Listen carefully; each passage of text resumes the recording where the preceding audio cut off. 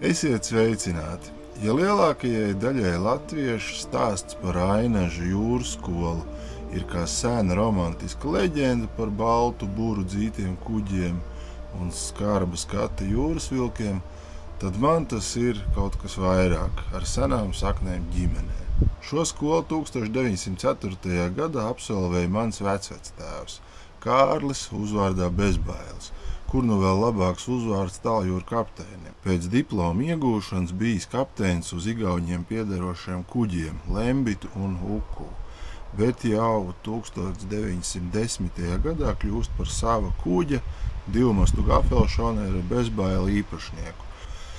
1913. gada janvārī izglāba Somu kuģa gazela komandu, tomēr pēc pāris gadiem vētrā strandējas Anglijas piekrastē. Pirmo pasaules karu kā kapteinis pavada Arhangaļskā uz tvaikoņa Lohsaidu. Bet jau 1919. gadā ir atpakaļ Latvijā. Ar kompanioniem iegūst trīsmastu burinieku Fritz Gustavu, ar kuru jau dodas pāri okeānam uz Trinidadu un daudz kur citur Eiropas jūrās. Pēc 30 gadu kalpošanas burinieks dabū sūci un nogrims 1924. gadā pie Vigo. Kapteinim bezbailim liktenis bija atvēlējis tūkstošiem drošu jūras jūdžu un 74 gadus, pēc kuriem tas tagad atdus Ainažu kapsētā. Arī šoreiz piestāju pie Ainažu muzeja, lai kopā ar jums tajā mazliet ieskatītos. Ieskatīsimies, kur tad ir mācījies mans vecvectēvs. Šo raidījumu es veltu tieši viņam.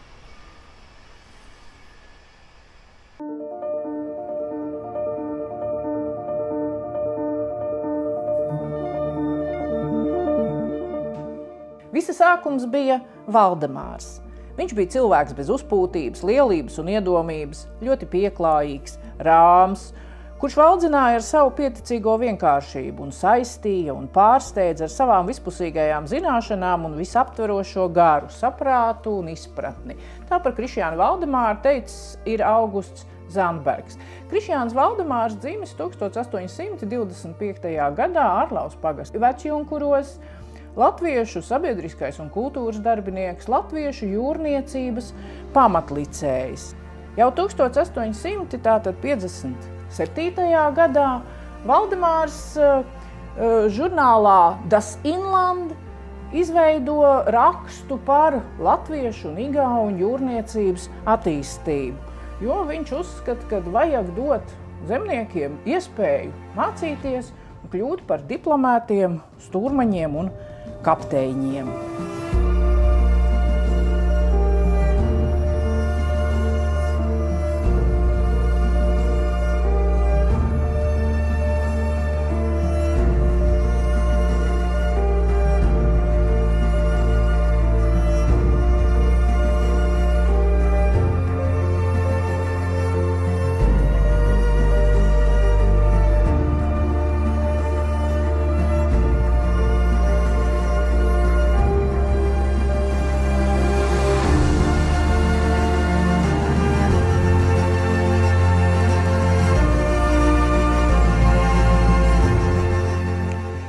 Krišāns Valdemārs izveidoja jaunu demokrātiska tipa jūrniecības izglītības sistēmu Krievijā. Ar tiešu viņa līdzdalību 1864. gadā šeit Ainažos durvis ver pirmā šāda veida jūras skola, kurās varēja mācīties katrs bez kārtu ierobežojuma, bez mācību maksas un dzimtajā valodā. Pavisam atverās 41 šāda skola, no kurām 11 atrodas Latvijā. Par vietu, kur veidot jauno demokrātiska tipa jūras skolu, Valdemārs izraudzījās ainažus. Jo šeit jau vīri bija sākuši būvēt nelielus divmastu bureniekus, ar kuriem, lielājus, ar kuriem šeit pat gar krastu pārvadāja preces. Tālākiem braucieniem viņi nevarēja doties, jo trūka izglītības. 1864. gada 23. novembrī darbu sāka Ainažu jūras skola.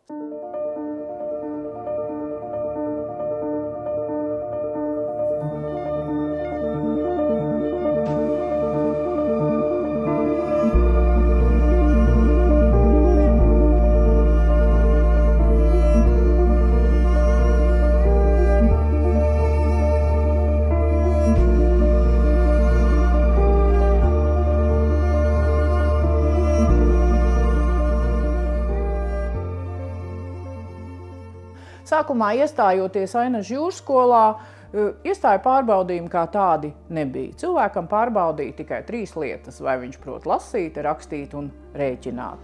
Lai gan tika prasīta prakse braucienām uz jūru. Ainas jūrskolā mācījās gan latvieši, gan igauņi, un pateicoties Valdemāram, sākotnēji šajā skolā arī mācības notika dzimtajās valodās - latviešu un igauņu. Skolēnu kopskaits bija vairāk nekā 2000. Apmēram 500 skolnieki ieguva tālbraucēju kapteiņa diplomus, 150 tālbraucēju stūrmaņi, bija arī kabatāžas eh, stūrmaņi. Tolaik visa Krievija iepazina latviešu kapteiņus, jo Krievijā, Cariskās Krievijas impērijā, trūka eh, spējīgu kapteiņu, kas varēja vadīt Krievijas kuģus.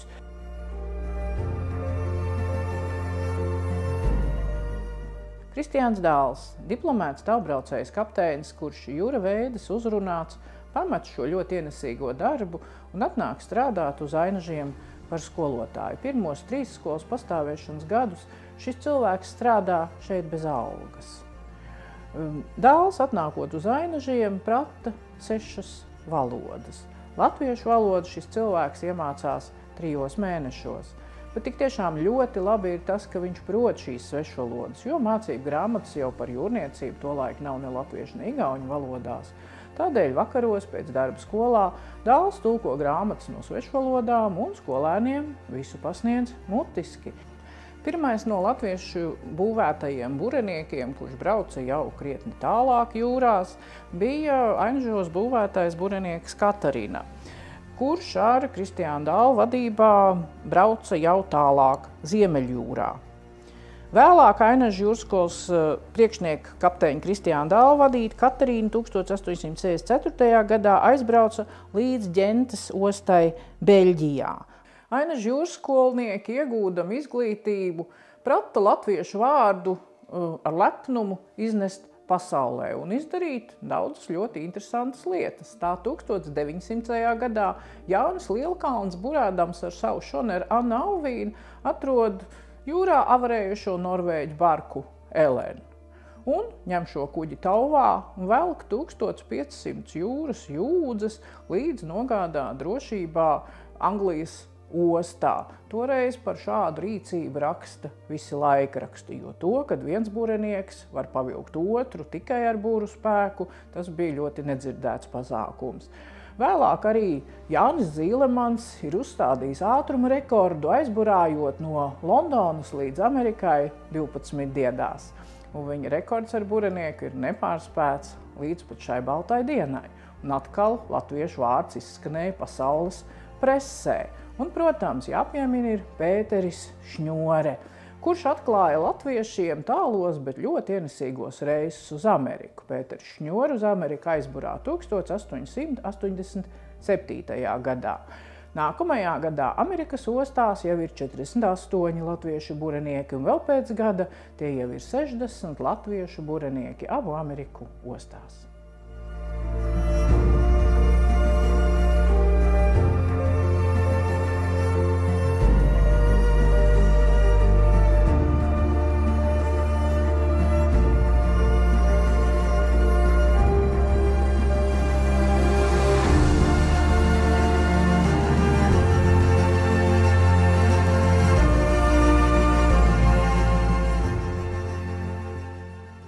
Kuģi komandas uz bureniekiem parasti bija nelielas. Bija apmēram no 10 līdz 15 vīriem uz borta.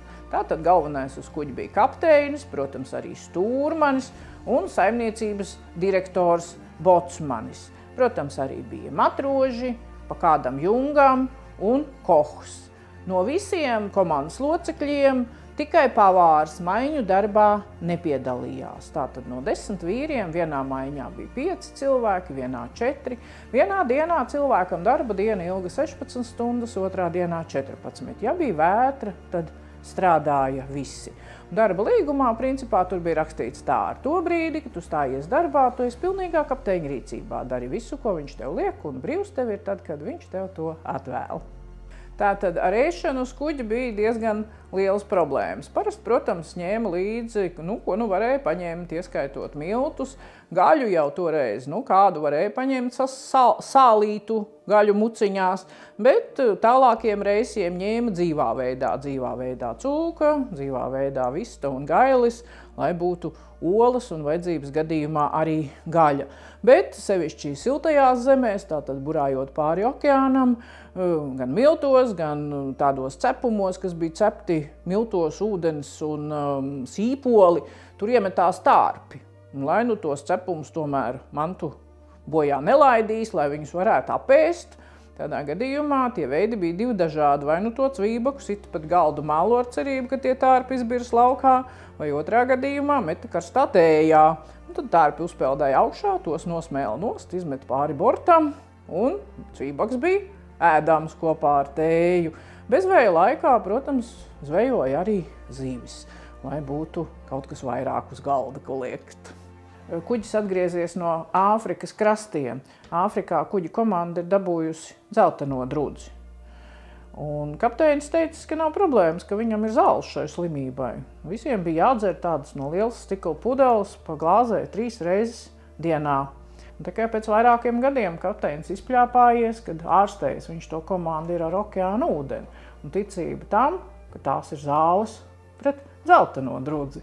Tā ir jūrniekuma lāde un, uh, un nu, dažādi priekšmeti. Tātad uh, švabris, ar kuru mazgāja klāju, klāju mazgāja parasti tātad kuģu puika ar to birsti. Un kapteiņi par klāju vienmēr ir teikuši tā, ka kuģa klājam ir jābūt tikpat tīram kā mājās ēdam galdam. Jūrnieku lādes, sākumā bija lādes šādas te, šī te ir Augustam Kozenkrāniusam piedaroša lāde. Uh, vēlāk jūrnieku lādes nomainīja maisi Pēters Šņoris atmiņu stāsts. Viņš ar savu stūrmani sēdējis Amerikas ostas krodziņā. Pie viņiem pienācis blakus stāvošā buranieka kapteinis sveštautietis un teicis tā. Es principā ar savu kuģi esmu bijis katrā pasaules ostā iekšā. Burā iekšā, kurā ostā gribi, latviešu buranieki tur jau noteikti ir priekšā. Ieej, kurā ostas krodziņā gribi, latviešu valodu tur noteikti dzird. Tā Latvija laikam ir viena milzīga liela Zeme.